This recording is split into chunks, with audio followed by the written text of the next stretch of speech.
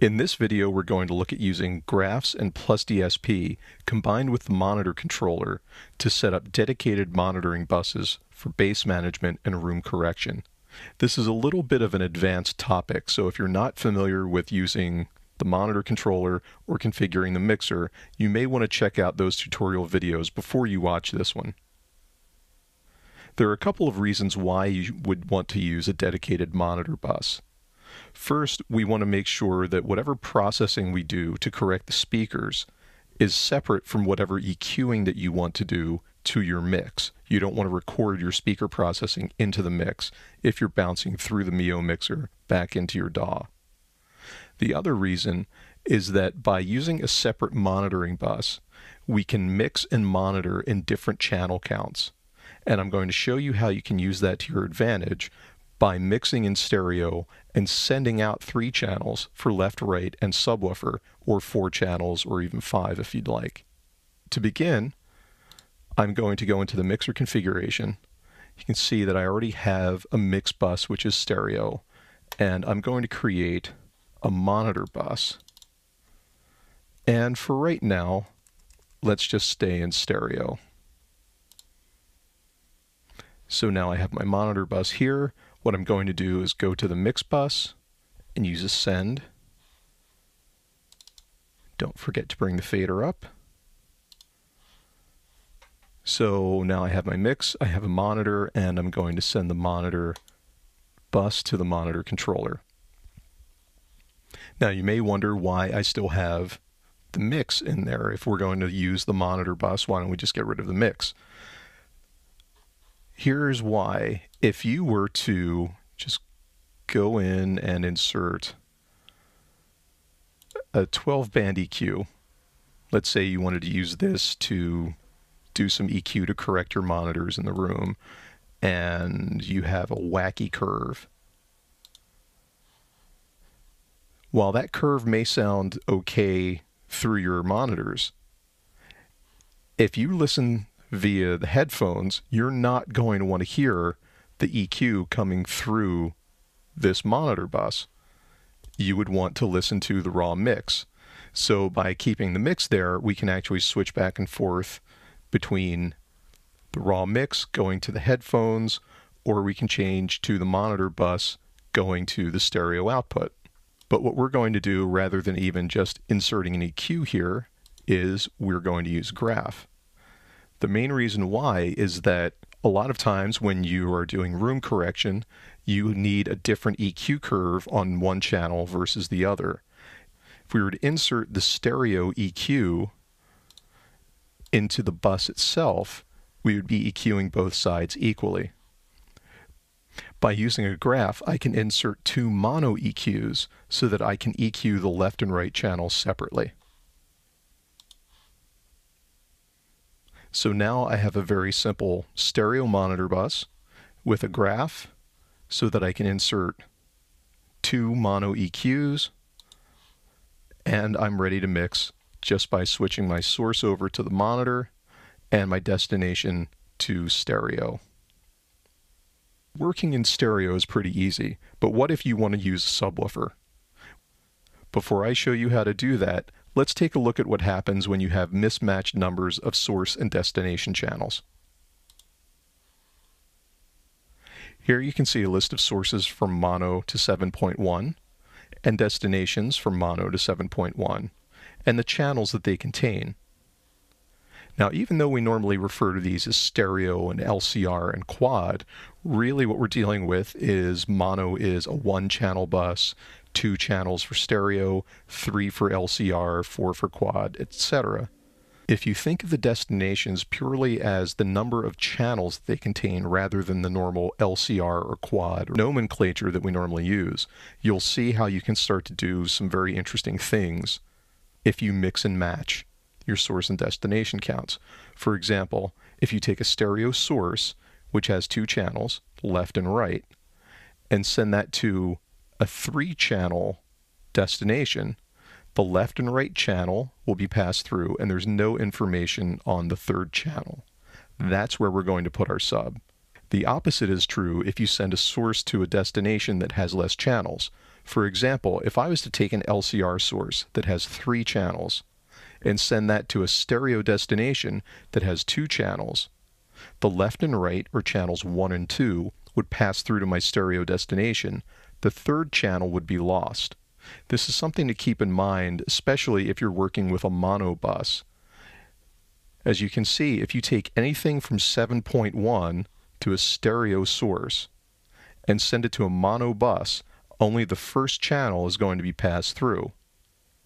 Any other information is just going to be lost. If you have, let's say, a stereo signal that you want to send to a mono bus, let's say DAW 1 and 2, if you send DAW 1 and 2 as a stereo source to this mono destination, the right channel is going to be lost. The way to work around this is to have two mono sources, DAW1 and DAW2, assign both of them to a mono bus, and then they will be summed together to mono. But if you send a stereo signal to a mono bus, the right channel, the second channel, will be lost. So let's take a look at how we can create a left, right, and subwoofer monitoring system. First thing I'm going to do is get rid of this graph on my monitor bus and reopen the mixer configuration.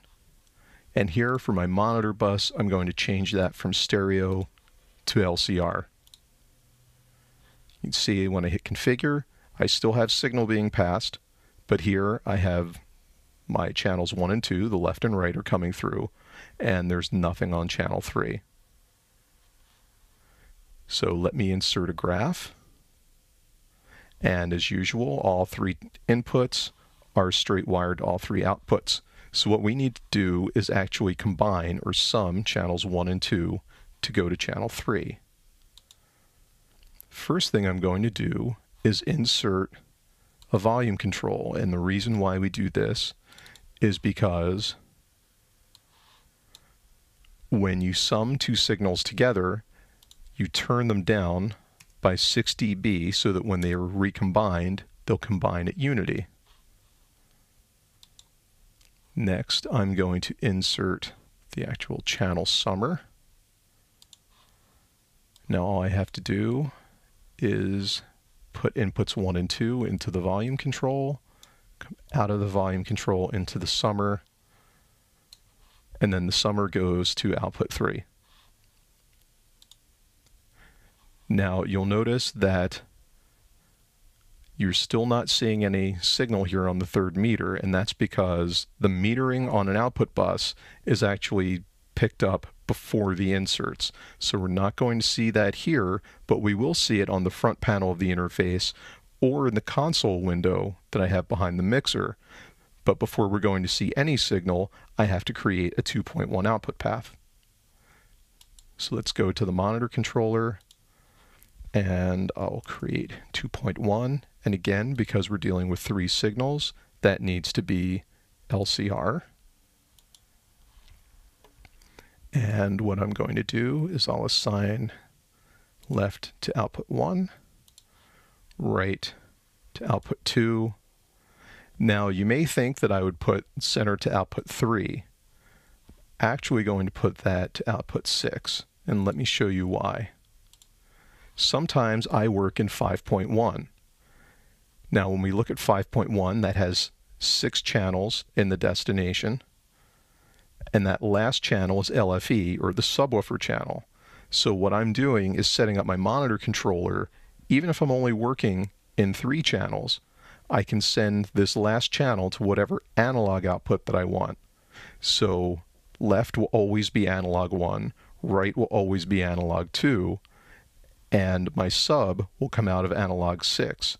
So down the road, if I want to create monitor paths to work in 5.1, the subwoofer will be assigned to the right analog out. So now that I have analog 1, 2, and 6 assigned, hit OK there, and now when I set the output path to be 2.1, now that I've switched my monitor source to be the monitor bus, you can see I have output on 1, 2, and 6, and they're all at about the same level. This would work if you were using a subwoofer that had a built-in crossover. But let's say that your subwoofer doesn't have a built-in crossover, or that you want to high pass your left and right at the same frequency that the subwoofer kicks in. Let's reopen this graph and we're going to go to the math category and add in a band split. The band split is crossover. So I'll take input 1 to left, input 2 to the right, and now you can see I have low and high outputs. First, I'm going to set this crossover frequency. For right now, let's set it to 80 hertz. So I'm going to take my low outputs into that volume control so that anything below 80 hertz is going to go through the volume control to be turned down a bit, then summed and sent out of output 3. And I will take the high outputs and send them to outputs 1 and 2. Now you can see that the output on analog 1 and 2 is much higher than the output on analog 6. That's because there isn't a lot of information in my voice below 80 cycles, which is where we set the crossover point. If I play some music, you'll be able to see the subwoofer level get much higher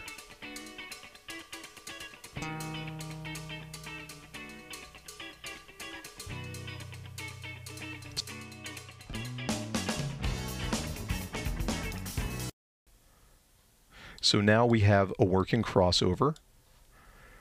The next thing that we want to do is actually be able to put EQ into the graph so that we can do some room correction. So I'll get a couple of six band EQs. Hopefully we don't need more than six bands to make the room sound good. I mean, you have the ability to put more in, but if you have to do that much EQing, then you probably should be looking at other solutions. And we'll take the high outputs. They'll go through these EQs. And now we have a crossover with EQ for room correction. The last thing that you may need to do is depending on how in depth you want to get in tuning your system, you may need to put some delay in to time align your left, rights, and your sub. Where you put the delay depends on where the speakers are placed. So let's say that your subwoofer is a couple of feet behind your left right speakers. If that was the case, you would need to delay your left rights to match your subwoofer. So you would go and get a delay. Uh, let's grab a 1K stereo and insert that here.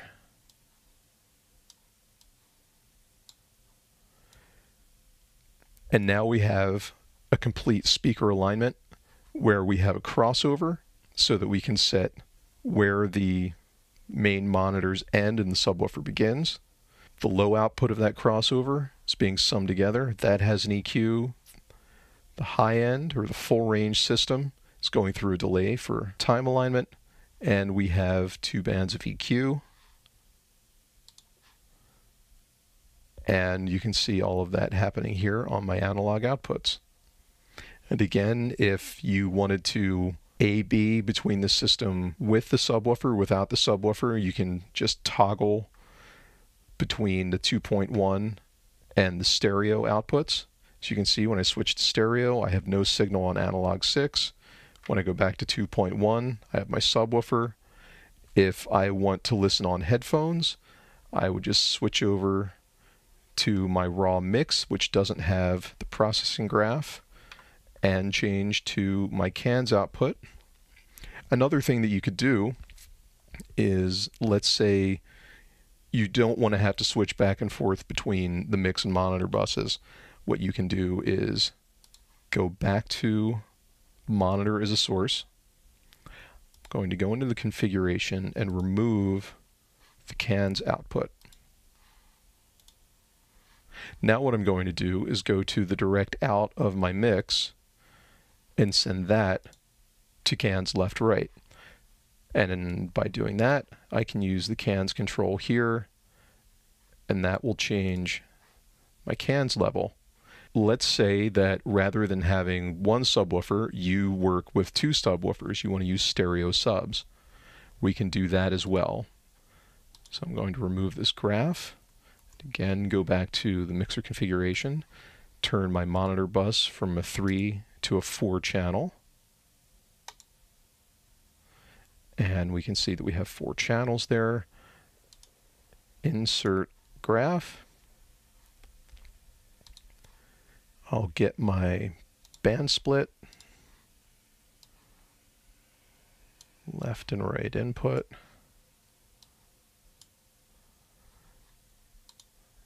Grab my EQs. So I want a total of four channels of EQ.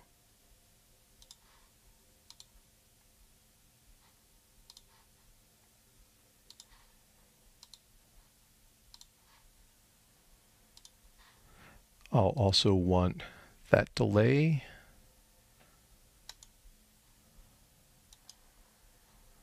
And now I can wire everything together.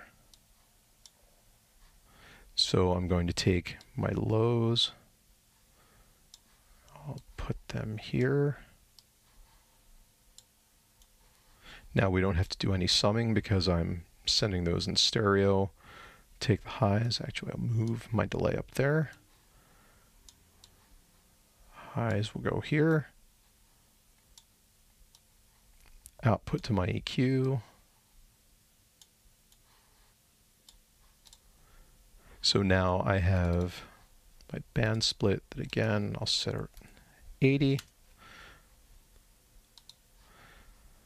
So anything below 80 hertz will come out of the low left and right, go through these EQs and out to outputs 3 and 4.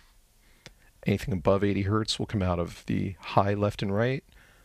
Have those through a delay. That's assuming that the mains are forward uh, relative to the subwoofer.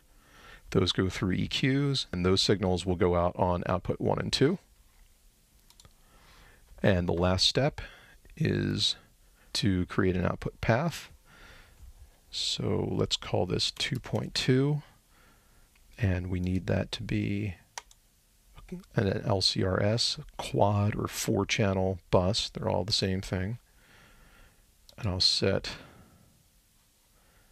analog 1 and 2 for the left and right. And I'll send my subs out on 5 and 6. Now that I've done that, when I select the 2.2 output, I have my high pass audio coming out 1 and 2, and I have my low pass audio coming from 5 and 6. So by working with the graph inserted into a dedicated monitor bus, we can set up crossovers and room EQ to correct our listening space in a manner that doesn't affect our mix audio. Now that we have this dedicated monitor bus with our crossover and EQ, time alignment delay installed, we can actually start correcting the room without affecting our mix environment.